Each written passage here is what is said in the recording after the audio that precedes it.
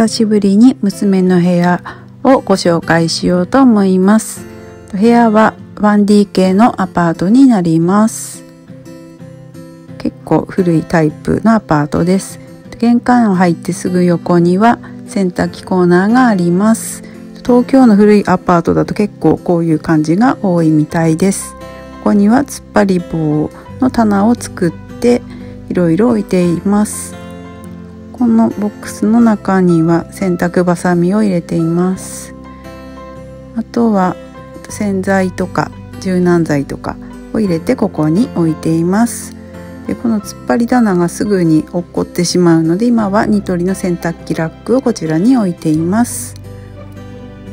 こちらの玄関の扉にはマグネット式のこの容器をくっつけていてペンとか入れてあと鍵をかけたりしています。入ってすぐ左手には小物入れ物入れがあります。ここはシューズなどを入れられます。縦型の方には空気入れとあとここにはエコバッグとかほうきとかを入れています。で上から3段目まではシューズ入れになっていて一番下だけ物入れになっています。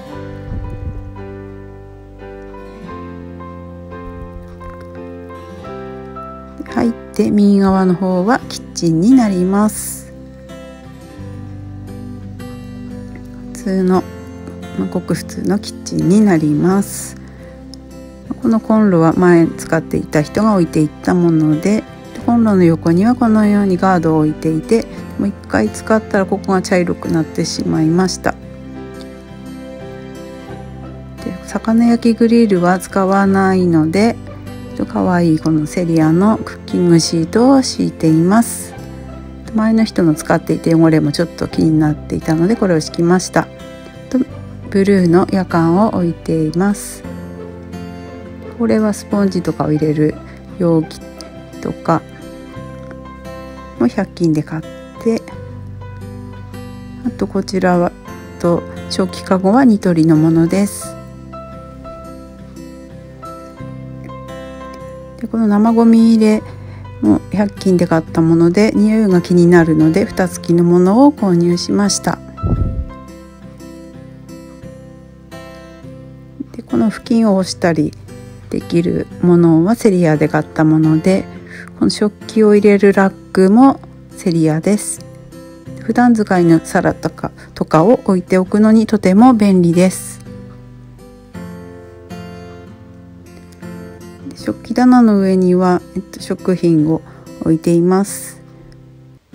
でこの手作りの棚は、えっと、これむき出しの木材になっているのでこの IKEA の引き出し用のマットを買って今は敷いています。ここにはダイソーで買ったマットを敷いています。ここにはマグカップとかボウルを置いてあと調味料とか。あとここは箸とかたこ焼き用のピックなどを入れています。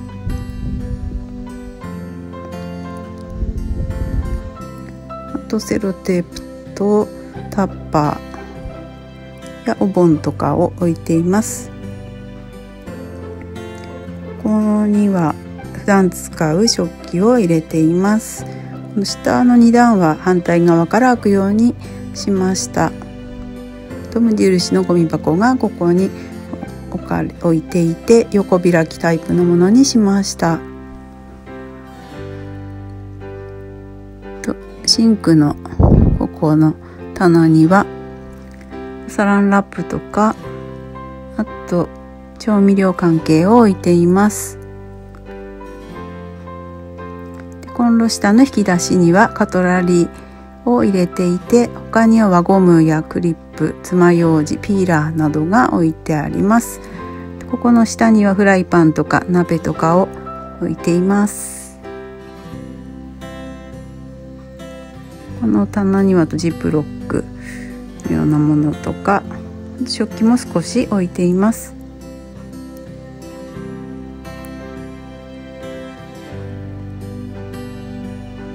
先ほどの反対側の引き出しには使いかけの、まあ、調味料みたいなのとかあと食品のストックとかを入れています。ここにはとブルーノのホットプレートが置いてあってあとこれはダイソーで400円で買った米びつがちょうどいいサイズで使い勝手もいいです。この下には食品の使いかけのものとか、まあ、食品のストックを入れています。でこの窓の窓のところには IKEA の残った生地で使ったカーテンをかけています。とマスキングテープは何かと使うのでここに置いて、まあ、すぐに使えるようにしています。これは IKEA でかなり安い掛け時計になります。ここの下は前もご紹介したんですが無印の座布団とボックスを置いています。中はここも食品のストックを入れています。と冷蔵庫があって上にはレンジがあります。まあ、一人暮らしでよくあるサイズになります。で冷蔵庫の横には炊飯器と湯沸かしポットがあって、まあ、炊飯器はニトリのもので湯沸かしポットは楽天で購入しました。とこの下にはオーブントースターがあってこれはちょっと運んでる途中に割れてしまってマステで補修して使っています。この横には茶碗とお味噌汁用のお椀が置いて置かれています。と白いボックスがこの下には置いていてあとコンセントがすごく少ないのでこのような感じでたくさんさせるようにしました。このボックスの中には、えっと、レジ袋とかあとダスターとかキッチンのお掃除用品とあと無印の布巾とかを入れています。こっちはまだ空です。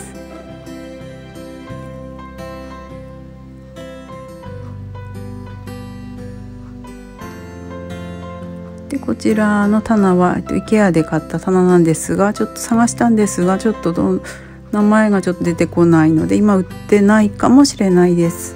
ここにはバスタオルをかけたりしています。あと洗濯用のネットを入れたり洗濯かごとか置いていてあと一番下には体重計を置いています。でこの椅子はニトリのものでちょっと座るのにちょうどいい感じになります。お部屋の方はまた近いうちにご紹介します。